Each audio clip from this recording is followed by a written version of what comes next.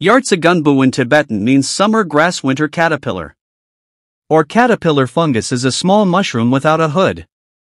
Technically, this creature is not a grass or caterpillar, but the larva of some kind of ghost moth that lives in the soil and is infected with spores of the parasitic fungus Ophiocordyceps sinensis.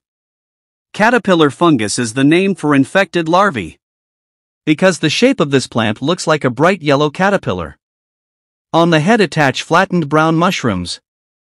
The chocolate bar is as small as a match, sticking out a few centimeters in moist soil.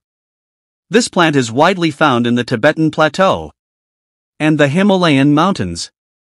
The habitat of this plant is breeding at high altitudes, 300 to 5000 meters above sea level and on moist soils. This plant thrives and is widely found in early May to late June. This plant is the source of most of the income of the people in the Tibetan Plateau. Caterpillar fungus changed the rural economy, especially Serxu, which developed rapidly. High quality production of famous caterpillar mushrooms from the Serxu region. In Chengdu City there is Zhongshi Caterpillar Fungus Hall.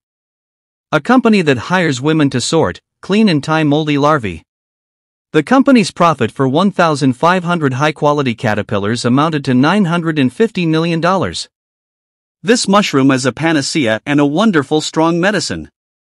Prescribed by healers to cure back pain, impotence, jaundice, and fatigue. It can also treat tuberculosis, asthma, bronchitis, hepatitis, anemia, and emphysema, and can even cure hair loss. The trick simply boil a few stems of mushrooms with a cup of tea, or boiled with soup, or baked with duck slash chicken.